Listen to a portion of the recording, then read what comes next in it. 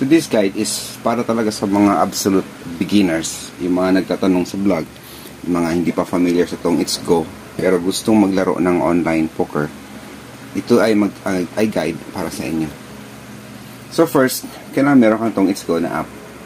Pwede nyo siyang i-download sa App Store. Kung Android naman is sa may Google Play. So you can use Google para hanapin. Ayan. Um,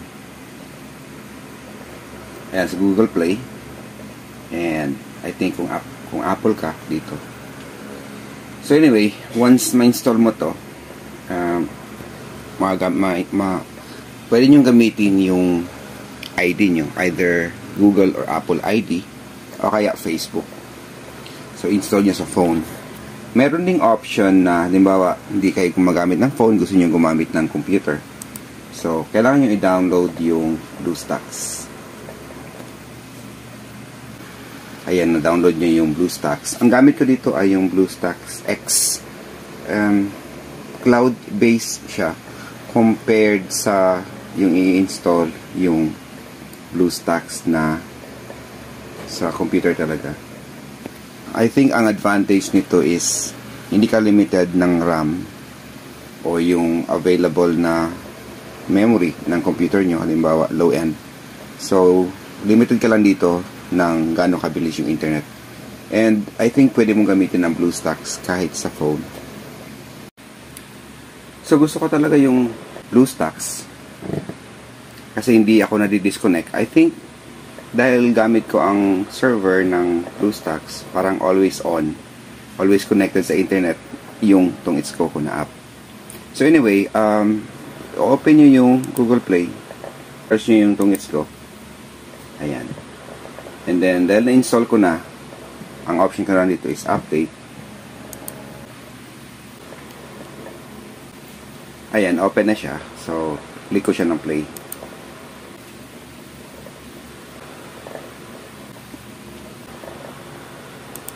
meron kayong option gamitin yung Facebook o kaya Google. Kung Apple naman ang ano, or sa phone nyo, kung phone ang gamit nyo, may option din kayo na gamitin yung Apple ID. So, i-click ko yung sign in with Google. Ito yung game name, ito yung game ID. Kapag tinanong kayo ng game name, ito ibibigay nyo, or ID, ito naman yung ID mga option kayo dito gusto, kung ayaw nyo ng maingay ayaw nyo ng may sound effects pwede nyo i-off.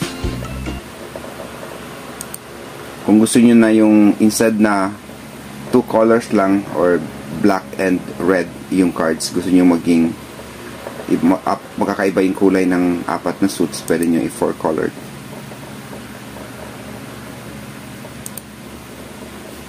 and then kung wala pa kayong club, dito kayo pupunta sa more. And then group. Ito. So, ganito yung tsura nito kasi wala pa ako nasalihan group. So, join new group. Yung club ID ng Desert Warriors ay 439959. Okay. Click join. Ito. Makikita nyo yung Desert Warriors and then click apply to join ayan kapag hindi group is full yun yung makikita yung message. Kapag puno naman yung club advise nyo lang yung or sabihan nyo lang yung agent nyo na group is full and then magre-remove siya ng players. So ngayon kausapin nyo lang yung agent nyo na ipa-approve na. Sa Desert Warriors required na mag-cash in muna or mag-video call bago ma-approve. Ito ay para ma-confirm na seryoso yung players. Ngayon ako ay prefer na cash in na lang kaysa mag-video call pa. After nyo mag-apply, pag na-confirm na ng uh, agent nyo na na-approve na kayo, dahil tapos na kayo mag-cash in, balikan nyo yung group, dito ulit sa more, right? and then group. Ayan. So, ibig sabihin, approved na kayo sa group. Ito yung first screen. Zero pa to kasi hindi pa to nalalagyan ng chips. Ito naman is yung diamonds. Ang diamonds ay binibili. Ang 100 pesos ay 1,000 diamonds. I- Kung 60 pesos naman, 600 diamonds. Ang purpose nito, ito yung ito nababawas yung uh, rate o kaya um, cost ng playing. So, main difference ng tong hits ko sa ibang apps tulad ng PP Poker ay walang rake sa pot. Ibig sabihin, kung magkano yung nasa gitna, yun ang mapupunta sa'yo kapag ikaw ang nanalo ng pot. Sa PP Poker, binabawasan yan, I think, 5%. So, ibig sabihin, kung nag-all-in kayo ng tig 500, may 1,000 sa gitna, tapos nanalo ka, ang mapupunta sa iyo ay 950 lang. Kasi ibabawas yung ah, 50 or 5%. Sa live naman na laro, sa poker club talaga, sa pagcore, kung mag-all-in kayo ng 500 and then may 1,000 sa gitna, ang mapupunta sa iyo ay 900 lang. Ibig sabihin yung 500 mo, nanalo ng 400. Kasi, ang 10% mapupunta sa dealer or sa may club. So, yan ang main advantage. Bakit? Mas gusto ko yung tong ko compared sa ah, ibang apps. Kasi, halimbawa, dito 1, 2, ang cost nito is 6 diamonds per hand. Ibig sabihin, 60 cents. So, halimbawa, ganyan, may 88 na. Tingnan natin ha. May, ayan, may, nag, may nag-raise. So, magkano yung total pot ngayon? 218. Nanalo siya. 137. Kasi, uh, meron naman siya doong ano, uh, yun, 218 yung total. Ibig sabihin napunta lahat sa kanya. 137 yung panalo niya kasi ha- halos half naman doon is chips niya rin. Pero nakita nyo, kung magkano yung pot dito, uh, nung mag-all-in sila, 218, napunta lahat sa kanya. So, walang bawas. Yan ang main advantage ng tongits ko. Okay, um, ito. Ito yung first screen, ito yung mga tables. And then, kung may tournament, makita nyo rin dito. Dito makita nyo yung records kung halimbawa, ah, magkano yung sinend sa inyo or may nag-claim ba sa inyo. Ayan. Pwede nyo i-adjust yung days. Halimbawa, gusto nyo tingnan yung record nyo previous day. Tulad dito, 29. Kagabi. Then, click nyo to. Pag walang transactions, wala kayong makikita dyan. So anyway, papalagay ako ng chips para makapaglaro na ako. Ang gagawin nyo dito, kausapin nyo yung agent nyo or sino man yung admin ng GC. Okay, may chips na ako ng 1,200. Sa inyo, makita nyo ganito. Kapag nag-send kayo ng Gcash na 1,000, 1,000 din yung ilalagay. Kasi 1 is to 1. May nagtatanong magkano ba yung advice ko na minimum cash in. Well, makikita nyo dito sa table. Ito. Minimum buy-in is 100. Ang normal na buy-in dito is 200. So, ang advice ko talaga is meron kayong tatlong buy-in. Ibig sabihin 600. And then, mag-reserve din kayo ng pang Diaz. Pwedeng 60, pwedeng 50, pwedeng 100. So, kung maglalaro kayo ng, say, 100 hands muna, parang practice lang, I would suggest mag-cash in kayo ng 660. Para yung 600, tatlong buy-in at 60 na Diaz. Which is good na for 100 hands kasi 6 diamonds nga binabawas per deal. Yan ay kung sa 1-2 kayo maglalaro. Kung maglalaro naman kayo sa medyo high bet, tulad nito, 3-6, ang buy-in dito ay 300, ang normal dito na buy-in ay 600. So yung 300 parang short stock yan or short buy. Short buy bang tawag doon? Magbabain ka ng konti. And ang table cost dito ay 12 diamonds per hand. So I would suggest at least bili kayo ng mga 100 na 100 pesos na diamonds or 120. Pwede rin yung ibawa sa chips. Halimbawa, bayin ako ng 600. So, ang importante dito ang alamin, ito add asset. Ay, kung gusto mong tumayo, stand to ex ex. O kaya, um, stand up next hand. Tuloy nito. So, ibig sabihin, next hand, mawawala ka na sa table kasi tatayo ka na. Importante yung matutunan niyo yung add asset, ganyan. Pwedeng adjust, 300 lang. Click confirm. Kung hindi naman, hindi nyo tutuloy, so click nyo lang sa labas. Ito din, dito nyo titingnan kung magkano yung naipanalo nyo sa mesa.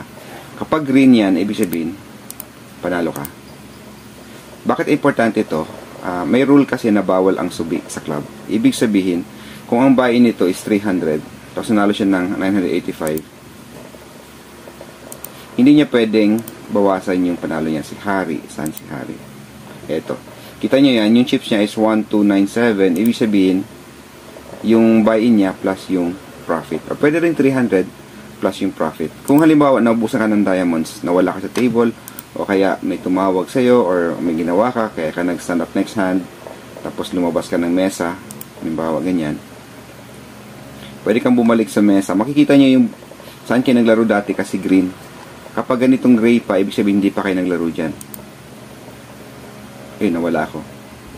So, kailangan, uh, ibaba ko yung magkano yung chips ko dati kung meron ako panalo. Although dito naman, hindi ako required na ibaba yung more than the buy-in kasi talo naman ako. Pero halimbawa ako si ARM. Saan si ARM? Hmm. Ayan. Panalo siya ng 1.5. Kapag um, lumabas ito, si ARM, tapos bumalik siya na hindi niya binaba yung panalo niya. Ibig hindi niya binaba yung panalo niyang 1.5. Halimbawa, bumalik lang siya sa 300 or 600 na buy-in yan ay considered na subi. Bawal yan. Ang penalty ay i-hold yung panalo niyang 1.5. And meron lang siyang 3 deals para mag-add. Ang mangyayari, may mag-chat dito. Halimbawa, may mag-chat na bawal ang subi. So, pag kayo yung player, uh, I hope maintindihan nyo yun na kailangan nyo mag-add chips. Check nyo yung panalo nyo dito. Ito, pag green yan, panalo yan. So, add, add chips na kayo. Kung kinulang na yung chips nyo dahil nag-cash out na kayo kanina and then bumalik kayo sa mesa, alis na lang kayo. Huwag kayo magstay kasi magagalit yung mga players kasi parang unfair na nanalo ka and then uh, nilabas mo yung chips, bumalik ka pa. So, alis ka na lang para hindi sila magalit sa'yo at hindi ka ma-penalty. So, ano pa yung mga ibang rules dito sa poker? Bawal din yung halimbawa ganito. Tatapunan mo siya ng bomba o kaya ganito. Isda, parang insulto. Unless close kayo talaga at comfortable ka na, uh, alam mo magkaibigan kayo, close na kayo, hindi ka naman niya i-report. Pero kung hindi mo yung kakilala at nag-trash talk kayo tapos mag hahagisan mo siya ng mga emoticons, mga ganyan, pwede kanyang i-report. Tatlong beses, pwede kanyang i-report. Ito makita nyo guys, uh, green siya kasi ginawa kong 4-colored kanina. Kung hindi ko ginawang 4-colored, ano lang to, red tsaka black, di ba? So ano ba ba? Um, yun lang, bawal din mag-trash talk na mag-insulto kayo. Halimbawa, tatawagin mo siyang bobo, gago, namo, kahit na anong mga mura, ay bawal. So, hindi to about strategy guys. Uh, gusto ko lang um, i-guide yung mga newbies talaga. Kung ano yung dapat nilang malaman sa mesa, ganyan. Ito yung minimum buy-in. Tapos dito nyo check yung profit. Ito yung remaining time. Ngayon, halimbawa, pinakabahan ka na dahil malaki na yung chips mo hindi ka sanay maglaro ng tig 1,000, 2,000, sanay ka 300 lang, pwede kang umalis sa mesa, o kaya hintayin mo matapos to. And then, balik ka naman sa 3,600, pero fresh start na yun. Uh, magsi-zero out ulit yung mga panalo dito. Magsi-zero out ito, kasi start from scratch ulit. So, ganun lang guys. Uh, may mga ibang mesa o ibang games tulad ng Tongits, Pusoy, pero hindi ako naglalaro ng tong is or pusoy, kaya hindi ko rin ina-advise sa mga players ko yun. And, and mas marami pang rules sa tong its. Kasi yung poker, um, sit and go kahit saan ang mesa. Pwede kang umalis, pwede kang lumipat tulad nito. Lipat ako dito. Okay lang. Basta, pagbalik ko, ayan. Kung meron ako panalo, kailangan ibalik ko din yun sa Pusoy at sa Tongits, may mga rules na kapag panalo ka, hindi ka pwede umalis, kailangan mo alisin yung, o kailangan mo ubusin yung oras. Eh, paano kung nawalan ka ng internet and then nanalo ka, di ba? May mga, pwede kang i-report, considered yun as subi or hit and run. bawal yun. So, i-claim ngayon kung magkano yung panalo mo. Sayang naman. Another thing na hindi ko gusto sa Pusoy is limited ka talaga kung ano yung hawak mong cards. Kasi hindi mo lang na magagawa kung ano yung cards mo. Yun lang talaga. ba? Samantalang sa poker, pangit yung cards mo, pwede mong i-fold. Sa Pusoy, kung pangit yung cards mo, wala kang magagawa. Tuloy-tuloy yung pustahan. Yun talaga yung hand mo. Kung pangit yung hand mo, talo ka, ba? Kahit magaling ka mag-arrange. Eh sa poker, kahit na hindi ka tumama, kung magaling ka mag-bluff, pwede ka pa rin manalo. So yun lang ang quick introduction ko sa uh, poker. Ito 510 uh, mahal na dito ang DS 20 20 DS na or parang 2 pesos per deal. So mas mahal na siya pero malaki din yung pustahan so malaki yung pwede mong ipanalo. So I hope naging clear yan guys. Uh, quick guide lang para sa mga newbies na gustong sumali sa poker. Nag-trio kaya lang may flush. So kapag nag-all in ito, mag-aalangan pa ako. Lalo na kapag nag-one card flush. Tulad nito. Ayan, mag-check lang ako. I hope hindi na siya mag-raise para makita ko yung good. hindi ako maka-raise kasi ganyan guys, kapag nag-raise ka at may flush, natalo ka lang. Eh, kung wala naman silang flush, hindi rin silang mag-call sa bet mo. So, wala kang additional na makukuha. Pero, may additional, may chance na may additional kang matalo. So, thank you for watching. Uh, kung gusto niyo sumali sa club, message nyo lang ako sa Facebook.